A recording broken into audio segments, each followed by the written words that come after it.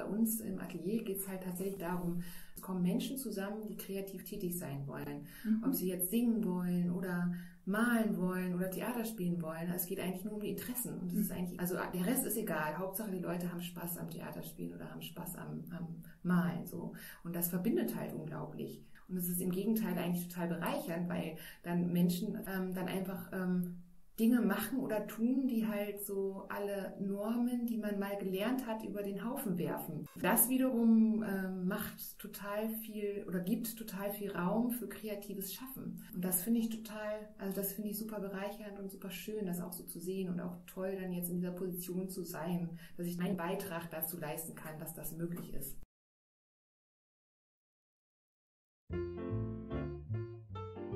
Hallo und herzlich willkommen beim Podcast der Oldenburgischen Landschaft. Wir berichten hier aus dem kulturellen Leben im Oldenburger Land. Wir sprechen mit Menschen, die die Kultur im Oldenburger Land mitgestalten. Wir sind Oldenburg, das Land. Menschen erzählen.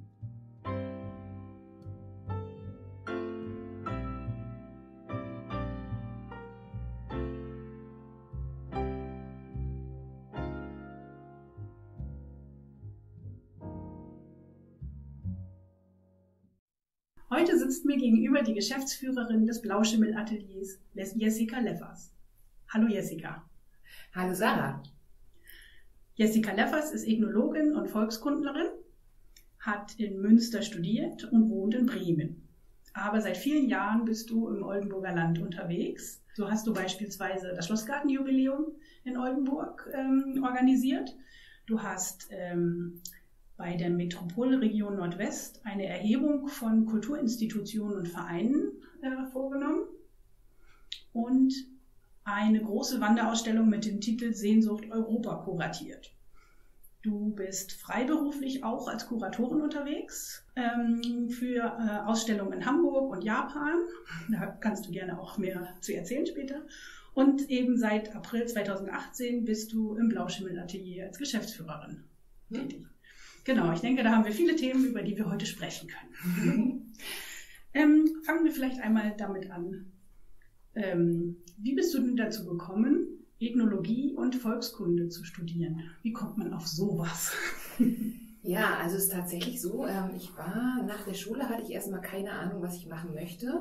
Bin dann im Ausland viel gewesen, unterwegs gewesen. Ich war in Israel, ähm, da habe ich zwei Monate in einem Kibbutz gearbeitet und danach habe ich einen Monat in einem Hotel in Jerusalem gearbeitet, war in Uganda für einen Monat und ja, und so bin ich dann halt irgendwie mit sehr vielen verschiedenen Kulturen sozusagen in Kontakt gekommen und fand das total spannend. Darf ich mal kurz zwischenfragen, was hast du denn da gemacht? Äh, in, in Israel? Ja, beides, also in einem Kibbutz. Genau. Weißt du? Was, was machst, macht man da? genau, in einem Kibbutz, äh, in einem Kibbutz äh, habe ich äh, in einem in dem Supermarkt des Kibbutz gearbeitet sozusagen. Das heißt, ähm, ich musste dann äh, Sachen äh, rausräumen, Preise auf die Lebensmittel drauf machen, okay. Lebensmittel verpacken und so Geschichten. Okay. Das war meine Aufgabe da. Aber es war auf jeden Fall total toll, weil das war auch ein sehr internationales Team. Wir waren 20 Volontäre, mhm. äh, wirklich aus Südafrika, Südkorea, aus den Niederlanden, Dänemark. Mhm. Und das war total spannend. Wir haben alle zusammen in einem Haus gelebt. Ach, okay. Und da kann man sich ja schon vorstellen, es war ziemlich, war eine coole Zeit. Auf ja, jeden Fall, ja. Das klingt ja nach einer bunten Zusammenstellung. Okay. War eine sehr bunte Zusammenstellung. Genau, da habe ich einfach dann so viel auch mit unterschiedlichen Menschen zu tun gehabt und Genau. Und dann hat sich irgendwann die Frage gestellt, ja, irgendwann war dann auch mein Jahr, mein Sabbatical sozusagen nach dem Abitur vorbei. Mhm. Und man musste sich auf Studiengänge bewerben. Und eigentlich wollte ich Landschaftsökologie studieren okay. in Greifswald, mhm. weil es da einen Schwerpunkt gab. Ähm, wie hieß das? Ähm, ich glaube, Entwicklungs- es war auf jeden Fall ging es so Richtung Umweltschutz und Entwicklungshilfe. Mhm. Und das wollte ich eigentlich machen, aber leider war mein NC nicht gut genug. Okay.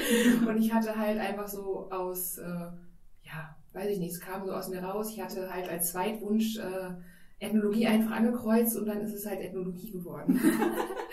und dann habe ich Ethnologie ein Semester in Münster studiert, mhm. ähm, habe dann gewechselt nach Hamburg. Mhm. Ähm, genau, und dann in Hamburg war es ganz cool, da konnte man sich verschiedene äh, Sachen erstmal angucken, bevor man sich festlegen musste. Und dann habe ich mir Psychologie und Soziologie und alles Mögliche angeguckt und bin dann in der Volkskunde, hieß es damals noch, mhm. hängen geblieben. Heute heißt es ja europäische Ethnologie oder Kulturanthropologie. Ähm, genau, und so habe ich dann Ethnologie und Volkskunde studiert. Die meiste Zeit in Hamburg tatsächlich. Mhm. Reingerutscht sozusagen. Genau, reingerutscht. Genau, weil es einfach spannend, total spannend und interessant war. Ja. Ähm, was, was macht man da so im Studium? Also ist, ist das mehr so ein Literaturstudium oder ist es mehr irgendwie praxisorientiert? Wie muss ich mir das vorstellen? Mhm.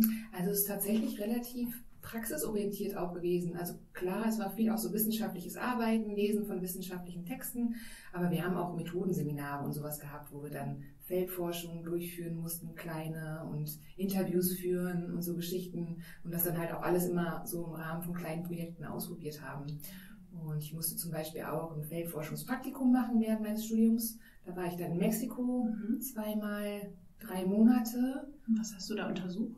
Genau, da habe ich in so einem kleinen indianischen Dorf gelebt, ähm, in Chiapas, und da habe ich zu der Kleidung der Frauen geforscht, welche Bedeutung die Kleidung für Identität und Individualität der Frauen hat. Ähm, und die haben halt so, ähm, ja, die haben so ganz tolle Stickereien auf ihren Blusen drauf. Mhm. Da habe ich auch Sticken gelernt. Ach, Weben habe ich gelernt. genau, weil die haben so selbstgewebte Gürtel getragen. Mhm. Genau, das nannte sich dann teilnehmende Beobachtung, was ich da gemacht habe. Und darüber habe ich dann Bericht nachher auch geschrieben. Und das war dann mein Feldforschungspraktikum, was ich gemacht habe. Das klingt ein bisschen wie Trachtenforschung, was man hier macht. Ne? Ja, geht, glaube ich, schon in die Richtung. Ja, ich denke, das ist eigentlich das Gleiche. Okay. Ja. ja, spannend. Okay. Gut, aber genau, und dann hast du in Hamburg zu Ende studiert und äh, bist du dann in Hamburg geblieben oder was hast du dann gemacht? Also ich bin dann tatsächlich auch erstmal, auch nach dem Studium habe ich mir dann nochmal ein Sabbatical genommen. Und dann war ich in Mexiko ein Jahr. Okay. Genau, weil da wollte ich ganz gerne auch nochmal mein, mein Dorf sozusagen besuchen und hatte da auch die Möglichkeit bei ähm, zwei Nichtregierungsorganisationen mitzuarbeiten. Okay. Ähm, das eine war eine medizinische Organisation, die hieß SADC und da habe ich dann so Flyer und sowas übersetzt ins Deutsche, weil die natürlich auch versucht haben, in Deutschland Geld zu bekommen. Mhm. Und bei der anderen Organisation, die ist Madre Tierra Mexico. Mhm. Und ähm, da haben wir dann so auch wieder so in vielen kleinen ähm, Dörfern haben wir so Workshops durchgeführt, wo es dann eigentlich darum ging, äh, ja, so die Organisationsstruktur vor Ort zu stärken, dass die Leute halt lernen, wie man sich gut organisieren kann, um dann eben auch für seine eigenen Rechte mhm. äh, eintreten zu können dem Staat gegenüber. Ah, okay. Mhm, genau. War, war das ein indianisches Dorf? Ähm, ja, es sind teilweise waren das auch indigene, es waren verschiedene Dörfer, wo wir waren, teilweise waren das auch ähm, indigene Dörfer, aber teilweise waren das einfach ja, Kleinbauern, ne, die dann irgendwie, ja, also das kann man sich gar nicht vorstellen. Ne? Also eine Kommunität, wo wir mehrmals waren, da musstest du erstmal anderthalb Stunden den Berg hoch gehen zu Fuß, um da überhaupt hinzukommen. Also wir hatten keinen Strom, kein Wasser, ähm, gar nichts. Ne? Das kann man sich gar nicht mehr vorstellen, dass es das gibt, aber gibt es da tatsächlich. ist ja noch an vielen Orten auf der Welt. Ja, genau. Und dann geht's. Da haben wir dann eben mit den Leuten vor Ort dann meistens eine Woche etwa verbracht und mit denen zusammengearbeitet. Ja, krass eigentlich. Krasse Arbeit, finde ich.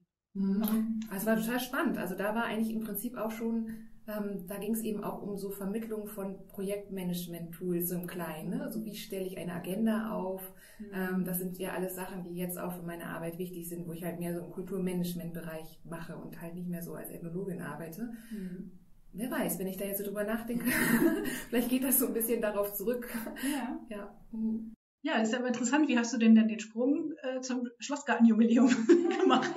Kam da noch was zwischen oder wie? Ja, wie ging es dann weiter? Aha, genau. Ich habe danach, also ich hatte während des Studiums schon im Völkerkundemuseum in Hamburg gearbeitet als studentische Hilfskraft mhm. und ich fand die Arbeit total vielfältig und spannend mhm. und habe mich dann nach diesem einen Jahr in Mexiko dann gezielt auf Museumsvolontariate beworben. Mhm. Habe dann recht schnell eigentlich ein Volontariat bekommen in Hannover im Historischen Museum. Genau, und dort habe ich dann eine Ausstellung auch kuratiert zum Thema Arbeitsmigration. Ähm, da habe ich dann auch ganz viel mit sogenannten GastarbeiterInnen zusammengearbeitet, Interviews geführt und so weiter. Und da konnte ich ja auch ganz gut meine ethnologischen äh, Tools und so weiter, also wie führe ich ein Interview. Meine Spanischkenntnisse waren da ziemlich hilfreich, weil sehr viele ähm, Spanier und Spanierinnen eben in den 60er Jahren nach Hannover gekommen sind mhm. die zum Beispiel bei Balsen gearbeitet haben oder bei Continental oder so. Mhm. Genau, und da habe ich dann auch einen ganz guten Zugang zu der Community bekommen sozusagen. Äh, genau, daraus ist dann nachher eine Ausstellung entstanden und so bin ich in dieses Ausstellungswesen reingekommen. Danach habe ich mich dann aber eher, es ist ja so mit der kuratorischen Arbeit auch immer nicht so einfach, was zu finden äh, und ähm, habe auch eigentlich immer viel von dem, was ich gemacht habe, hat ja auch mit Projektmanagement zu tun gehabt. Und dann, ähm, genau, wurde ich eben angesprochen tatsächlich, ob ich das Schlossgartenjubiläum, ob ich da die Koordination übernehmen möchte. Mhm. Genau, und dann zu der Zeit hatte ich einen Job in Hamburg, der mir nicht so gut gefallen hat. und dann habe ich gedacht, okay, ja, das mache ich. Äh, genau, und so bin ich dann nach Oldenburg gekommen oh. und äh, habe dann das Schlossgartenjubiläum koordiniert und eine kleine Ausstellung dazu im Landesmuseum für Kunst und Kulturgeschichte mhm. ähm, kuratiert mit anderen zusammen auch. Ja, es war eine große Aktion, hat man zumindest in der Stadt Oldenburg ziemlich viel von mitbekommen. Genau, und so, so waren dann deine Schritte ins Oldenburger Land, sag ich mal genau. so. Genau. Und dann bist du ja ein bisschen hier hängen geblieben, ne? Genau, dann bin ich ein bisschen hängen geblieben. Also es ist ja tatsächlich so im Kulturbereich, muss man ja sagen, ähm, ist es ja schon so, dass immer viel so über Netzwerke und so weiter läuft. Und ich hatte eben durch das äh, Schlossgartenjubiläum einfach sehr viel Kontakt auch schon, mhm. äh, halt zu allen möglichen Institutionen und Einrichtungen, unter anderem zur Oldenburgischen Landschaft. ähm, ja, genau, und so hat sich das dann irgendwie ergeben. Ich habe zwischendurch nochmal auch eine andere Ausstellung noch gemacht, aber irgendwie bin ich halt hier in Bremen geblieben und hatte den Kontakt hierher und ja, und dann hat sich das eben so ergeben, dass dann eins nach dem anderen kam und dann immer wieder irgendwas in Oldenburg sich ergeben hat. Ja. Zum Beispiel haben wir beide uns ja kennengelernt, als du hier bei der Oldenburgischen Landschaft angefangen hast. Und ich ja zeitgleich auch. Wir haben beide zusammen quasi hier angefangen. Wir saßen im selben Büro. Und saßen im selben Büro. Genau. genau. Wunderbar. Ja, ich fand's auch. Es hat Spaß gemacht. Ja, das war echt schön, genau. Mhm. Ähm, genau, und äh, du hattest dann ja diese Erhebung, die ich vorhin schon mal erwähnt habe, ähm, gemacht. Eine Befragung von Kultureinrichtungen Genau, und daraus hat sich dann ja noch ein größeres Projekt entwickelt. Mhm. Magst du davon noch erzählen? Genau, also bei dem äh, Sehnsucht äh, Europa-Projekt, das war auch wieder so ein ähm, Vernetzungsprojekt, wo ganz viele verschiedene Einrichtungen dran beteiligt waren, in Oldenburg, Bremen, Sieke, Delmhorst und Lohne. Genau, das Industriemuseum Lohne war auch dabei. Das heißt auch schon sehr viele Einrichtungen aus dem Oldenburger Land. Mhm. Und das waren teilweise Museen und teilweise aber auch soziokulturelle Einrichtungen, vor allem eben aus Bremen. Und da ging es darum, ähm, also wir haben eine Ausstellung gemeinsam entwickelt, wo es darum ging, Projekte vorzustellen, wo vor Ort äh, Museen oder Kultureinrichtungen mit Menschen äh, unterschiedlicher Herkunft, Geflüchteten, zu der Zeit war das ja mit den Geflüchteten ein großes Thema, zusammenarbeiten, um einfach anderen äh, Kulturschaffenden auch mal so, ja, paar Ideen an die Hand zu geben, geben, mhm. wie denn so eine Zusammenarbeit eigentlich aussehen kann. Und wir hatten halt ähm, bei dieser Ausstellung dann auch noch so ein Überthema, ähm, dass wir eben auch so eine Reflexionsebene bei den Besucherinnen und Besuchern anstoßen wollten, dass wir dann eben für jeden Ausstellungsteil eine Frage entwickelt haben, die dann auch zu den jeweiligen Projekten vor Ort äh, gepasst hat. Ähm, zum Beispiel das äh, Industriemuseum Lohne hatte äh, sich beschäftigt mit ja auch der Geschichte der Gastarbeit in Lohne, äh, wie das kam, wo die Arbeit, wo die herkommen und was auch für, für Erfahrungen die gemacht haben über die unterschiedlichen Generationen hinweg. Und da war die, das Thema war, was bedeutet Heimat? Genau. Und wir haben dann eben da die Frage entwickelt für das Publikum, was bedeutet Heimat für dich? Mhm. Und da mussten dann die Besucherinnen und Besucher konnten dann halt eine Postkarte ausfüllen und hinhängen, was Heimat eben für sie bedeutet. Das war immer so von der, ähm, äh, so vom Konzept her haben wir sozusagen Fragen, die innerhalb der Projekte gestellt wurden, äh, haben wir dann sozusagen an die Besucherinnen und Besucher weitergereicht, mhm. damit sie dann auch einfach nochmal sich überlegen können, was bedeutet denn das eigentlich für mich? Mhm. Weil so was bedeutet Heimat, um bei dem Thema zu bleiben, ist eben eine Frage, die auch total unterschiedlich beantwortet wird von ganz vielen Leuten. Mhm. Und was ich gerade bei diesem äh, genau, was ich da total spannend fand, war, dass da wirklich sich unglaublich viele Leute haben was auf diese Postkarten geschrieben. Ne? Mhm. So von wegen auch Kinder und so, ne? So Heimat bedeutet für mich meine Familie oder Heimat bedeutet für mich äh, äh, ein Bier am Abend in der Kneipe. äh, irgendwie sowas halt. Ne? Und das war dann eigentlich ganz toll und spannend, dass das auch so eine Art Dialog war. Ich habe dann die Ausstellung, das war ja eine Wanderausstellung, die an den unterschiedlichen Orten ähm, gezeigt wurde, äh, an den unterschiedlichen Orten, wo eben die Projektpartner äh, saßen. Und ähm, ja, und ich war dann eben auch mit dem Auf- und dem Abbau nachher beauftragt und das war dann auch total ja, schön einfach zu sehen, was die Leute so äh, hinterlassen haben. Ja. ja. Viele Themen, die du bearbeitest, haben ja den Überbegriff kulturelle Teilhabe. Mhm. Was bedeutet das denn? Ja, das ist eigentlich eine echt gute Frage, weil es ist ja schon eine ganz schöne abgedroschene Floskel mhm. mittlerweile, ne? kulturelle Teilhabe. Und wenn man sich das mal so ähm, überlegt, so Teilhaben, mhm. ist eigentlich auch wieder so ein bisschen, eigentlich ist das auch wieder so ein bisschen von oben herab, finde ich, oder? Mhm. Weil du sagst quasi, du gibst jemandem die Möglichkeit teilzuhaben. Genau. So, ne? Also das ist eigentlich, eigentlich ist das auch kein schöner Begriff, finde ich, ne? Sondern es geht ja eigentlich viel mehr darum, dass man äh, ja, das weiß ich nicht, kulturelle Unterschiede oder so, einfach darum geht es nicht, ne? sondern es geht einfach darum, ähm, dass man gemeinsam was tut, mhm. dass man gemeinsam Dinge macht, an denen man Freude hat, vielleicht, ähm, dass man sich irgendwie, dass man eine, eine, Verständigungsebene findet. Es gibt, natürlich gibt es äh, gewisse Gesetze, an die müssen sich halt alle halten, klar. Mhm. Ähm, aber so im, im Zusammenhang mit Kultur es ist eigentlich eher so ein Problem, glaube ich, äh, der Kultureinrichtungen, muss man sagen, weil das ja auch, wenn man sich überlegt, wer leitet denn die Kultureinrichtungen, dass dann einfach auch viel, dann werden halt Themen gemacht, die man selber interessant findet vielleicht, ne?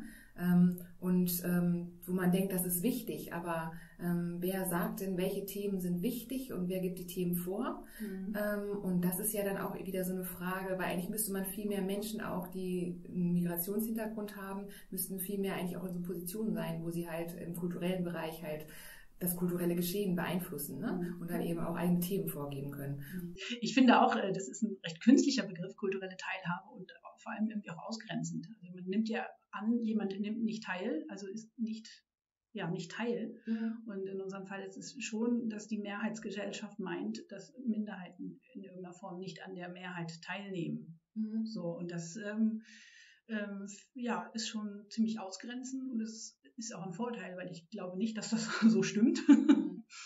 genau. Ähm, und tatsächlich ist es so, dass dann eben auch, wenn viele viele Menschen aus der Mehrheitsgesellschaft zusammen sind, dass sie dann vielleicht auch einfach nicht mehr sehen, dass es auch noch andere Themen gibt. Wenn man mhm. immer so in seinem Klüngel ist, ähm, ist es schwierig, über den Tellerrand zu gucken. Mhm. Es ist ja nicht böse gemeint, es ist ja jetzt keine, keine Unterstellung, aber es, es ist einfach eine Tatsache. Man muss schon, finde ich, Strukturen schaffen, in denen es möglich ist, dass auch andere Stimmen gehört werden oder Menschen gesehen werden. Mhm. Und genau. Auf jeden Fall, bin ich total, hast du schön zusammengefasst. ähm, das Gleiche ist, finde ich, auch der, der Begriff Migrationshintergrund. Mhm. Denn interessanterweise nennen wir Menschen mit Migrationshintergrund ja nur welche, die auch stigmatisiert sind. Also niemand würde irgendwie einen schwedischen Einwanderer als Migrationshintergrundsmenschen bezeichnen. Also es hat auch immer was mit sozialen ähm, Perspektiven zu tun, mit sozialer Ausgrenzung, jemanden als Mensch mit Migrationshintergrund zu bezeichnen. Ja, und es ist ja tatsächlich auch irgendwie, ähm, ich meine, es ist ja auch schlimm, ne? weil du bist irgendwie, du bist hier geboren, du bist hier zur Schule gekommen, gegangen, ne? Mhm. und dann wirst du immer noch wieder gesagt, ach so, du da, du mit deinem Migrationshintergrund oder mhm. weiß ich nicht was. Ne? Äh, deshalb ist es auch so genau so eine Sache, das habe ich auch immer mal wieder so begegnet. Ich begegne, ich bin ich Menschen begegnet, mhm. ähm, also die aussehen, als ob sie wahrscheinlich nicht unbedingt äh, ihre Wurzeln in Deutschland haben, genau, aber die natürlich auch total genervt sind, wenn, wenn dann irgendwie Leute sagen so, oh, du sprichst aber gut Deutsch. Genau, aber ich glaube, das ist äh, tatsächlich auch so eine Sache, die auch so ein bisschen rauswächst, ne? weil ich sehe das auch immer so bei, bei den jüngeren Menschen, ähm, ist das überhaupt kein Thema mehr. Ist so mein Eindruck, ne? was ich so mitkriege, auch so von Praktikantinnen und Praktikanten bei uns oder so, ne?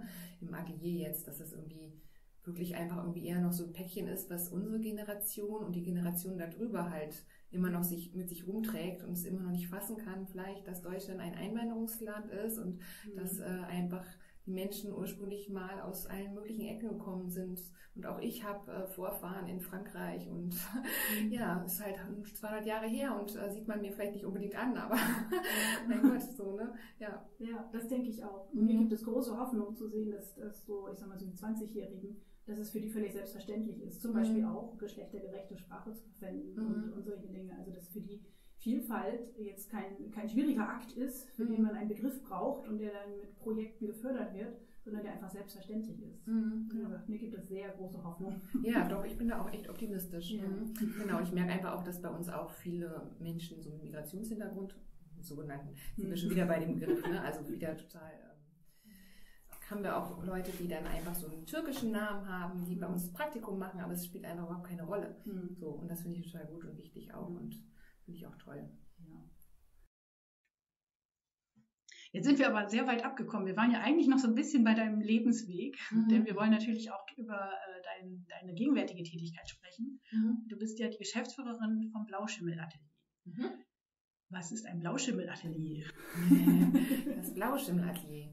Also wir sind äh, ein Verein, mhm. der äh, 1998 gegründet wurde äh, und wir machen inklusive Kunst- und Kulturprojekte. Das heißt, ähm, wir machen Projekte mit Menschen mit und ohne Beeinträchtigungen zusammen. Und wir haben einen Bereich ähm, darstellende Kunst ähm, mit Theater, Maskentheater, einen Bereich bildende Kunst und einen Bereich Musik mit einem Chor und einer Band. Mhm. Und wir haben äh, Kurse, regelmäßig, also wöchentlich stattfinden. Und wir machen aber auch Projekte, die so ein bisschen Richtung Soziokultur gehen, wo es um Begegnungen geht ähm, oder auch Kunstprojekte, die wir dann im öffentlichen Raum präsentieren oder aktuell zum Beispiel ein Projekt, was die Oldenburgische Landschaft fördert, äh, ist Wir sind Paula. Das ist ein Kunstprojekt, ähm, wo äh, sich die Leute halt bei uns treffen und dann ähm, nach dem Vorbild Paula Modersohn-Becker ähm, sich halt mit ihren eigenen Themen auseinandersetzen. Da wird es dann auch ab November eine Ausstellung geben mhm. in der Kinderbibliothek am PFL. Mhm. Ähm, und genau, und das, da kommen die Leute. Ja, jetzt Corona hat uns da ja auch ein bisschen zurückgeworfen. Vor Corona äh, waren fast 20 Leute da, mhm. äh, die halt wirklich gekommen sind und sich dann im Atelier getroffen haben und da eben Bilder gemalt haben und sich mit Paula Modersohn Becker beschäftigt haben und das ganz toll fanden. Wir haben jetzt während Corona in diesem, äh, also in diesem Projekt, äh, haben die Leute Hausaufgaben nach Hause geschickt bekommen und wir haben jetzt letzte Woche dann auch wieder angefangen, in kleinen Gruppen vor Ort ähm, zu arbeiten mit den Leuten. Also eine Ausstellung wird zustande kommen. Genau, die Ausstellung wird zustande kommen. Es ist jetzt schon ganz viel Material da und auch ganz tolle Sachen und da sind schon alle Hörer, falls es bis dahin ausgestrahlt wird, ja, der Podcast, Podcast ganz herzlich eingeladen, ja. mal vorbeizuschauen. Zur Info, wir sind gerade im September. genau. Ja, November ist nicht mehr so lange hin. Nee, genau. Also ja, wir produzieren immer so ein bisschen im Voraus, dass ich halt ankündigen kann, was als nächstes kommt. Mhm. Zum Beispiel. Ähm, diese Folge wird wahrscheinlich Mitte Oktober erscheinen. Ah ja, super. Das, mhm. äh, Soweit bin ich schon. Mhm. ja. Genau. Ähm, genau. Das, das ist jetzt ein aktuelles Projekt. Ähm, warum denn Blauschimmel? Schimmel sind doch weiß. Genau, ja. Gut, dass du zumindest schon mal darauf hinweist, dass es nichts mit dem Schimmel zu tun hat, den man in der Haus, im Haus oder auf dem Käse mal hat. Ja. es gab mal so einen ganz lustigen Artikel zu unserem 20-jährigen Jubiläum vor zwei Jahren. Ähm, alles andere als alter Käse. Ähm, genau. Äh, das ist, äh, geht halt darauf zurück, dass ähm, Blau ist die äh, Farbe der Antipsychiatriebewegung. Die Antipsychiatriebewegung war in den 60er, 70er Jahren sehr stark und zu der Zeit war es halt so, dass Menschen, die halt anders waren, mhm. da sind wir auch schon wieder ein bisschen beim Thema ne, kulturelle Teilhabe eigentlich oder wer definiert, was äh, richtig, falsch, normal ist und so mhm. weiter. Ne? Ähm, genau, dass Menschen, ähm, die eben nicht normal waren, in Anführungsstrichen, halt ähm, ja, weggesperrt wurden, ähm, oder halt auch, es wurden ja auch teilweise dann irgendwie Nervenstränge durchgeschnitten, also Lobotomie hieß das. Also einfach, es gab ganz schlimme Zustände in den Psychiatrien, das kann man sich gar nicht mehr vorstellen. Und es gab dann. Bis in den 50er Jahren, weit. 60er. 60er, um mhm. Gottes Willen. Ja, ja, also war wirklich schlimm. Ja. Äh, und genau, dann gab es eine Bewegung, die äh, in Triest ihren Anfang nahm ähm, die Antipsychiatriebewegung. Da war es so, dass sich dann halt Pfleger, Ärzte und Patienten halt gedacht haben, das kann ja wohl nicht wahr sein. Mhm. Ähm, es muss irgendwie anders laufen. Und die haben dann eben angefangen, ähm, ja, ganz viel so Kunst und so weiter auch zu machen mhm. äh, und äh, haben eben versucht, in die Öffentlichkeit zu gehen damit. Mhm. Ähm, sie haben dann zum Beispiel auch, das ist eigentlich so dieser das, was immer wieder so auch im Zusammenhang mit der Antipsychiatriebewegung, ähm, was man liest, die haben ein Pferd gebaut. Ein riesengroßes Pferd auf Pappmaché, aus Pappmaché. Cool. Genau, in einem Raum. Und das Pferd war nachher zu groß, das hat nicht mehr durch die Tür gepasst. Oh nein. Ja. Und dann haben sie die Wand eingeschlagen und sind mit diesem Pferd auf ein Volksfest gegangen. Ja, mit den ganzen Patienten und Ärzten und Pflegern und so weiter zusammen. Okay. Und das war so der Beginn der Antipsychiatriebewegung. Das ist natürlich ein, ein tolles Bild, sage ich mal, äh, von der Vorstellung her, dass die die Wand einreißen, um mit diesem Pappmaché-Pferd äh, die Welt zu ändern. Ja, genau. Und dann eben, und dann ging es halt danach, ging es dann eben auch los. Da war Italien tatsächlich auch viel weiter als wir in Deutschland, mhm. ähm, dass die Leute dann dezentral untergebracht wurden, halt nicht mehr in, äh, ja, in einem, in einer Psychiatrie, in einer Anstalt, ne? sondern halt wirklich auch, wo dann mehr auch so ähm, versucht wurde, die Leute zur Selbstständigkeit ähm, ähm, zu unterstützen, ne? dass sie selbstständig auch Sachen machen können und dass sie nicht total bevormundet werden, dass sie halt auch Rechte haben, eine Meinung haben. Ich meine, das waren ja auch dann so Krankheiten wie, wie ähm, naja, sowas wie, wie ähm, Depressionen oder sowas, mhm. ne? was dann auch nicht normal war und dann sind die Leute mal eben weggesperrt worden. Ne? Also wirklich, ja, genau, ganz schlimm. Und insofern war das so der Beginn, wo mhm. dann ähm, sich so ein bisschen genau der Mind sozusagen auch geöffnet hat in der Öffentlichkeit und dann eben auch so diese Ebene, ja, was ist denn eigentlich normal und wer definiert denn eigentlich, was normal ist? Mhm. Und ich finde, das ist ein ganz, ganz wichtiger Gedanke, ne? Mhm. Also, weil das ist ja auch eigentlich so die Essenz von der Ethnologie, ne? Muss, kann man so auch sagen. Da geht es ja auch drum. Man versucht ja Kulturen zu verstehen, mhm. ähm, aber aus sich selbst heraus, ne? Das nennt sich dann emische Sichtweise, dass man versteht, warum bestimmte Sachen in einer Kultur eben mhm. ähm, gemacht werden. Und das äh, hat ja auch irgendwelche Gründe, mhm. ne? Und ähm, ja, dass man dann einfach immer mal wieder so seine eigene Sichtweise auch hinterfragt, weil man selbst beurteilt es ja. Ne? Man mhm. selbst, äh, wir selber beurteilen ja immer, ach, das muss, das ist aber nicht normal oder äh, das macht man doch anders und so. Ne? Aber es kommt ja irgendwo her, dass man das denkt. Ja, ne? weil man so aufgewachsen ist und wo wir auch wieder, wo sich der Kreis wieder schließt, wenn man immer nur mit derselben Art von Mensch aufwächst mhm. und nie versucht, andere Kontakte zu knüpfen oder keinen Zugang dazu hat, mhm. dann kriegt man zwangsläufig vielleicht einfach so ein komisches Bild von der Welt. Mhm.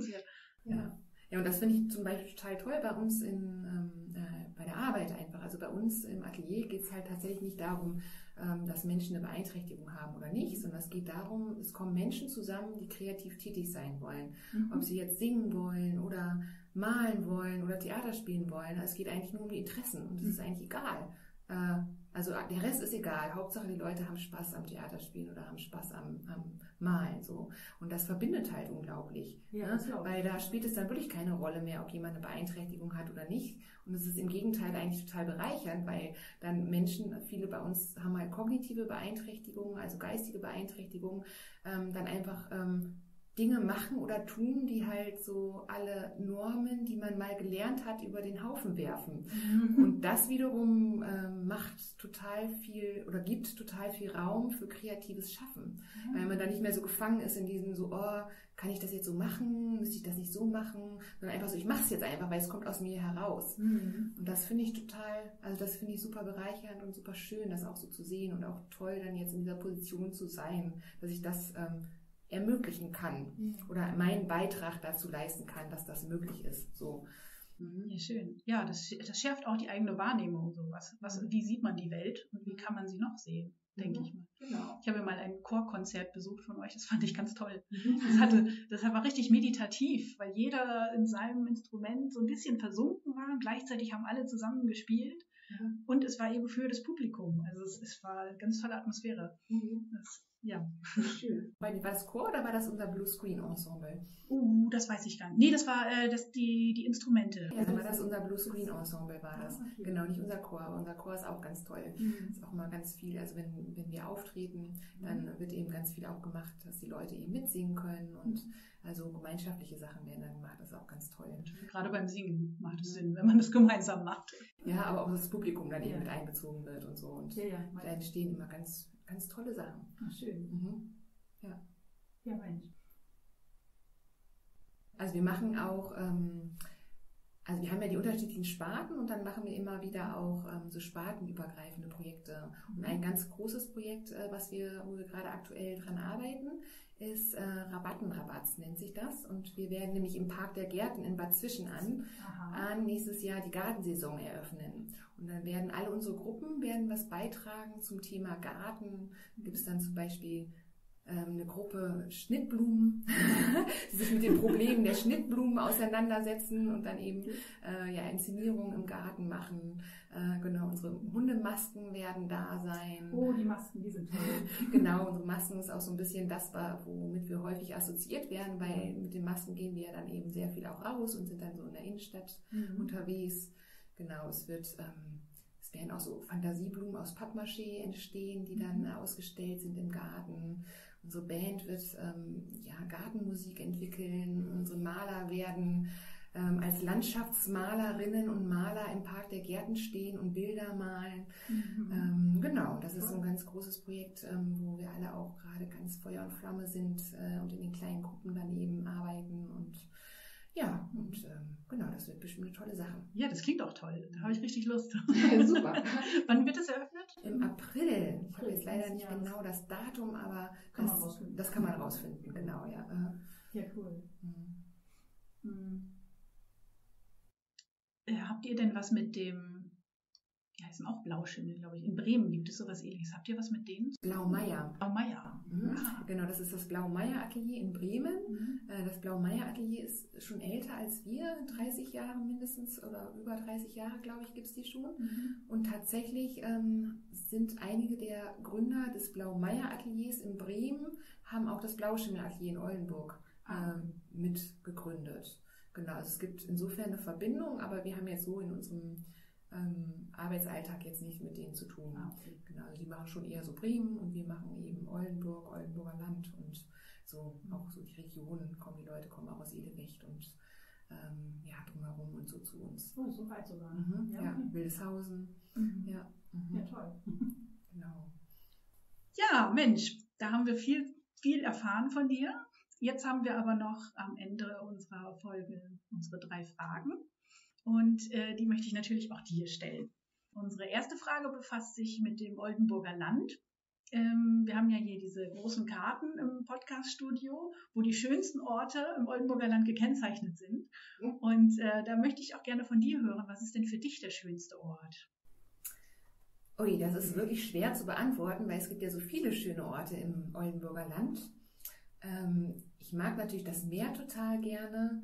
Ähm, also Budjading zum Beispiel finde ich total toll, da auch diesen, diesen Steg, den es da gibt, durchs Watt. Ja. Genau, da war ich irgendwann mal, das war total irre im Nebel. Da sind wir dann in Bremen losgefahren, weil das Wetter total schön war und wir gedacht haben, oh, wir machen jetzt mal einen spontanen Ausflug ans Meer, sind nach Budjading gefahren. Und dann, ähm, genau, dann war aber Budjading total vernebelt. Wow. also man hat echt keine zehn Meter weit geguckt. Ähm, Kurt konnte keine zehn Meter weit gucken. Aber wir waren dann auf diesem Steg und das war total cool, weil man ist über diesen Steg gelaufen und man hat eigentlich gar nicht gesehen, worüber man läuft. Also, es war, also man hat den Steg gesehen, aber man hat das drumherum nicht gesehen. Ja. Das war wie so eine unendliche, also wie so eine unendlich, unendlicher Weg quasi. Also eigentlich, man hat ja nur zehn Meter gesehen, aber du konntest halt rechts und links nicht sehen, was da ist. Du hast das Meer nicht gesehen, das Watt hast du nicht gesehen. Du hast halt nur den, ein Stück von dem Steg gesehen, worüber du gegangen bist. Und das war total cool. Ja, das glaube ich. Das war faszinierend. Und da haben wir dann auch mir gedacht, so, boah, das ist ja voll der Riesensteg. Und dann sind wir irgendwann anders nochmal da gewesen. Äh, und dann hat die Sonne geschienen. Und dann war es plötzlich so, öh, da ist ja eine Düne, da ist ja gar nicht das Meer. Äh, beziehungsweise da ich nicht Düne. Aber es war irgendwie total lustig, das dann einfach nochmal so zu sehen. Ähm, also das fand ich schon total toll. Mhm. Aber ich finde auch zum Beispiel den, den, ähm, ja, den, den Schlossgarten mag ich natürlich auch sehr gerne. Mhm. Ähm, Finde ich auch echt toll. Hier in der Stadt Oldenburg. Hier in der Stadt Oldenburg, genau. Oder ähm, den, ähm, äh, na, den Park in Bad Zwischenahn. Park der Gärten. Ach genau, habe ich gerade von erzählt. Den Park der Gärten mag ich auch total gerne. Finde ich auch total toll. Ähm, ja, ich finde, es gibt total viele schöne Orte, deshalb ist es eigentlich sehr, sehr schwer zu sagen. Mhm. Aber Butjading ist schon mal ein schönes Beispiel. Das mhm. checken wir ein. Sehr gut. gut. Ähm, was bedeutet denn Heimat für dich? Was für mich Heimat Für dich bedeutet. ganz persönlich, genau. Mhm. Du hast dich ja, wie wir vorhin schon äh, besprochen haben, auch schon ein bisschen damit beschäftigt. Also für mich persönlich ist Heimat tatsächlich so ein bisschen der Ort, wo ich geboren wurde, mhm. Münster, aber ich finde irgendwie, für mich gibt es eben so Heimat und Zuhause. Genau, und eigentlich ist für mich Zuhause wichtiger als Heimat. Und Zuhause ist da, wo ich wohne und wo ich mich wohlfühle. So, und mhm. ähm, auch ähm, sind eben auch die Leute drumherum spielen halt eine wichtige Rolle. Ne? Und das mhm. ist für mich das Zuhause. Und das ist für mich eigentlich, eigentlich noch wichtiger als Heimat. Heimat ist für mich eher sowas, ach, das ist so, da bin ich halt geboren. So, Punkt. Ja. Ne? Also ich habe da jetzt nicht so große Emotionen dran. Ähm, für mich ist eigentlich das Zuhause viel wichtiger. Das ist da, wo ich bin, mich, ich mich halt wohlfühle, dass ich mir ein Zuhause schaffe, ne, durch das. Umfeld, was ich mir schaffe. Und das kann auch wechseln, das Zuhause? Das kann auch wechseln, ja. Mhm. Das hier finde ich eine tolle Definition. So Heimat und Zuhause sein. Ja, Mhm. ja danke schön. Gern geschehen. Und ähm, die dritte Frage beschäftigt sich mit der Zukunft des Oldenburger Landes Mhm. und in deinem Fall auch des Bremer Landes. Denn ähm, es geht ja auch darum, dass man selber äh, etwas tut oder tun kann, um äh, die Zukunft zu gestalten. Und ähm, da wollte ich fragen, frage ich, Moment, da ist die Frage, äh, was tust du ganz persönlich, um weiterhin im Oldenburger und Bremer Land gut leben zu können?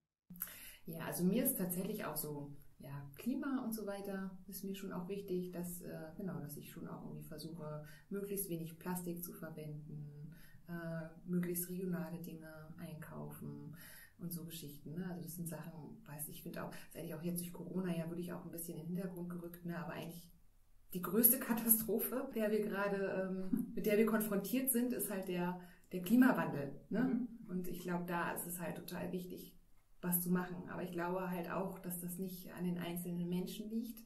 Einzelne Menschen können einen kleinen Beitrag leisten, aber eigentlich geht es wirklich darum, dass auf politischer Ebene da mehr passiert und das wirklich, ja, also es muss wirklich ein großer Wurf werden. Ne? Ich glaube, kleine Würfe helfen da nicht mehr. Ja, vielen Dank, Jessica. Das war ein tolles Gespräch. Äh, Ich danke dir, dass du heute hier bei uns warst im Podcaststudio. Ich danke dir auch. Ähm, Sarah, du hast äh, tolle Fragen gestellt. Äh, es hat mir sehr viel Spaß gemacht, hier zu sein. Und ähm, ja, und ich bin gespannt. Gut. Danke und tschüss. Ja, tschüss. Und dann kommt der Abspann. Wenn Ihnen diese Folge gefallen hat, klicken Sie gerne auf den Like-Button. Sie können auch einen Kommentar da lassen. Uns interessiert Ihre Meinung. Wir haben die Links und die Hinweise aus der Sendung, weiterführende Tipps und einige Bilder zusammengestellt und diese sind auf unserer Webseite zu finden. Ein bis zweimal im Monat wird eine neue Folge veröffentlicht. Wenn Sie den Kanal abonnieren, werden Sie darüber informiert. Hier erzählen Menschen aus dem Oldenburger Land über das Oldenburger Land, über Traditionen, über Natur und vor allem über Kultur. Wir sind Oldenburg, das Land. Menschen erzählen.